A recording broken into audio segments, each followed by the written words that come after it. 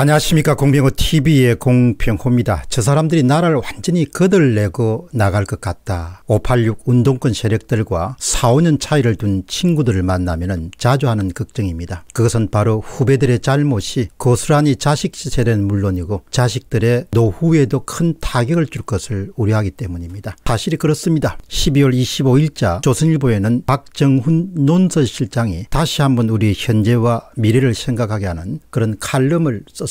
칼럼 제목이 좀 셉니다. 민주 건달이 연대해서 나라를 뜯어먹는 세상이다. 그의 칼럼은 오늘날 우리 사회를 어려움으로 내몰고 있는 586 운동권 정치 세력의 민낯을 정확하게 들여다볼 수 있도록 도와줍니다. 그를 모두 여섯 부분으로 잘라서 소개해드리겠습니다. 더 이상 저의 설명은 필요 없다고 봅니다. 첫 번째 주제는 조국의 변신입니다. 20대 청년 조국은 자본주의 전복을 꿈꾸던 사회주의자였다. 산호맹 산하조직에서 활동하다 6개월 옥고를 치루었다. 본인 회고대로 뜨거운 심장이 있던 시절이었다. 세월이 흘러 청년은 변절했다. 사회주의 혁명 대신에 부르주아적 삶을 탐하는 강남 좌파로 변했다. 알고 보니 그는 자식 출세를 위해서 스펙을 조작하고 문서를 위조한 위선자였다. 입으로는 여전히 진보와 공정을 말했지만 뒤로는 반칙과 특권을 섭던지 않고 있었다. 조국의 공모 사실을 인정한 정경심 판결로 진보주의자 조국은 사망했다. 진보의 가치를 주장할 자격을 잃었다. 칼럼의 6분의 1입니다. 다음 두 번째입니다.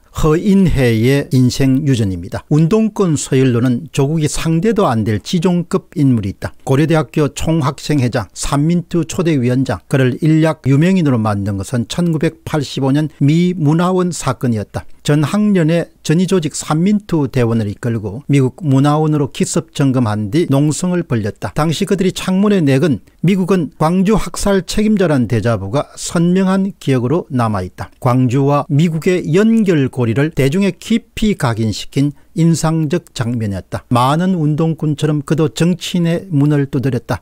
36세 때 여당 후보로 출마했지만 세 표 차이로 고배를 마시고 말았다. 김대중 대통령이 초대한 낙선자 위로 행사에서 그는 느닷없이 큰 절을 올렸다. 변신을 고백하는 퍼포먼스였을 것이다. 그 뒤로도 두 번 더 출마했지만 다 떨어지고 말았다. 운동권 경력은 화려했지만 정치인으로서는 불우했다. 이후 자취를 감췄냐 했더니 문재인 정부 들어서 다시 뉴스의 인물로 등장했다. 이번에는 태양광 사업가였다. 6분제입니다. 세 번째는 변창흠의 허인회 밀어주기입니다. 태양광 수주를 둘러싸고 심심찮게 논란을 일으키더니 결국 비리 혐의로 투옥되고 말았다. 80년대 운동권의 대부로 불리는 허인회 녹색 드림 협동조합 이사장 이야기다. 대중의 관심에서 멀어진 그를 다시 소환해낸 것은 변창흠 국토부 장관 후보자였다. 인사 검증 과정에서 허 씨와의 커넥션 의혹이 불거지고 말았다. 변 후보자가 서울도시주택공사 SH 사장 시절 허인혜 씨의 태양광 조합을 밀어준 사실이 드러나고 말았다. 당시 허인혜 씨 조합은 태양광 발전소 설치 경험이 전무했다. 그런 미자격 조합에 SH가 미니 발전소를 25건이나 밀어주었다. 박원순의 서울시와 SH가 허 씨에게 공공면허를 내준 것이나 다름없었다. 누가 보더라도 그것은 특혜였다. 허 씨의 사업은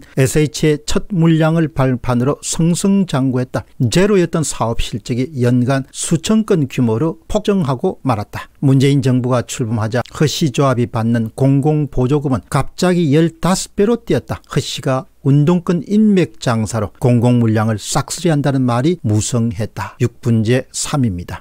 다음은 네 번째 운동권 장사의 실체입니다. 아니다 다를까 허씨는 문정권 출범 3년 만에 감옥에 갇히는 신세가 되었다. 국회의원 지자체장에게 청탁해서 부처 공공기관을 압박하고 돈을 챙겼다는 혐의였다. 검찰 공소장에는 허씨의 운동권 장사 수법이 적나라하게 기재돼 있다. 예컨대 도청 장비 업체의 부탁을 받고 친분 있는 의원이 공공기관들의 도청 문제를 질의하겠다. 그러면 겁을 먹은 공공기관들이 도청 방지 설비를 구입하게 되고 허씨는 커미션을 뜯는 그런 구조였다. 이렇게 해서 그가 받았거나 약속받은 돈이 6억 원에 달한다. 독재와 싸운 민주화 투사의 행각치고는 시조하기 짝이 없었다. 6분지 4입니다. 다음은 다섯 번째 운동권의 타락입니다. 허인의 신은 운동권의 집단 타락을 보여주는 단면에 불과했다. 민주주의를 위해 싸웠다는 수많은 운동권 출신이 돈과 권력과 자리에 탐닉하는 기득권자로 출막하고 말았다. 민정당 영수원 점거로 투옥됐던 김의겸 고려대학교 82년 입학은 재개발 부동산 재테크로 세간에 충격을 주었다. 여성 시민운동을 개척한 윤미향 한신대 83학번 위안부 할머니를 팔아 돈벌이했다는 의혹을 받고 있다. 산호맹 사건으로 6년을 복역한 은수미 서울대 파리학번은 조폭업체에서 편의를 제공받은 사실이 드러나고 말았다. 이들의 경쟁력은 어느 집단도 흉내 못 낼 탁월할 연대 능력이다. 운동권 시절 터득한 조직화 노하우와 동지의식을 그대로 사회에 이식했다. 그렇게 서로 봐주고 끌어주면서 자기들만의 견고한 이익 카르텔을 구축했다. 심지어 자기들로는 모자라서 자식 세대까지 특혜를 주겠다고 나섰다. 반독재 시위로 강제 징집됐던 우원식 연세대 76학번은 민주화 인사 자녀에게 취업과 대출 혜택을 주는 법을 지금 추진 중이다. 육사 마피아, 경제관료 모피아를 능가하는 최강의 이익 집단이 등장하게 되었다. 6분의 5입니다. 다음은 여섯 번째 민주건달이 말아먹는 사회. 부르주아 속물이 된 이들에게 한 원로 진보 인사는 민주 건달이란 이름을 붙여주었다. 자기 힘으로 돈 벌 줄 모르고 남의 팔을 비틀어 먹고 사는 게 건달이다. 그러면서도 말로는 약자 편인 양 고상한 행명과 행세를 하고 있다. 자기들은 욕망의 사다리를 질주하면서 대중에게는 가붕계, 가재와 붕어와 개구리로 살아가라고 한다. 변제를 탓하기에 앞서서 그 뻔뻔한 위선이 놀라울 뿐이다. 운동권은 이제 명예의 훈장이 아니라 나라를 떨어먹는 적폐의 이름이 됐다. 더 이상 속을 국민이 없다. 이렇게 아주 명칼럼이었습니다. 이 칼럼을 제가